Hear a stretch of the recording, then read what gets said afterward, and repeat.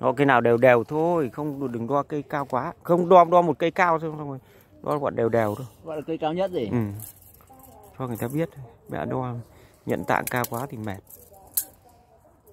cứ khoảng tầm một mét đấy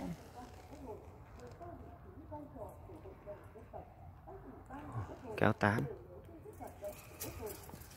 tán nó đây Tự nhiên lại làm xe ba chân bự bự quất. khoảng tầm 70 đây là cây này là cây to còn nếu cây kia nó khác Đứng đằng sau cái cây này thôi.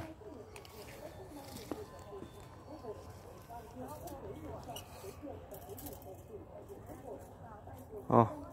Rồi rồi rồi. Nó cái đều đều. Đua con kia thì lại thành ấy quá. Đây này.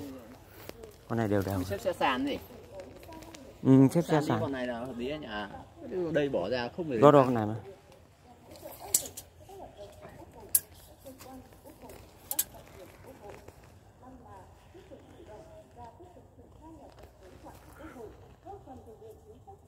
tám mươi tám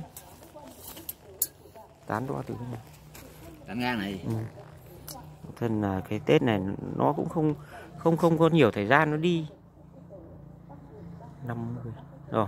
Tưởng ra sớm thì ui ôi tôi còn hoa hồng. Bao nhiêu việc đi tưởng vừa đóng con xe ở chỗ đoạn đoạn này một đoạn. Đang ờ, đóng ở trên bệnh viện Phúc Lâm cơ tôi trong nại ốc cơ. à, trong nại ốc làm hoa hồng với cả các thứ cơ. Hoa hồng với hoa giấy. Bọn này đẹp này đấy còn chum đường này, này. chum nó bảo là cái tầm. Đâu xem cái chum này chum này vẫn vẫn vẫn là hàng kia